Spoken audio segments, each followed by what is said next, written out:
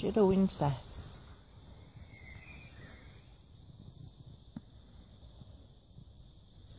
So Cody's meeting Seth and Igor for the first time. Igor's been very good and popped him in his place a couple of times already. Seth just wants to chase him. and Cody's a little bit perturbed and he's like, Mum, save me! That's alright, my darling. He's making new friends. Good boy. He's very sweet with his body language.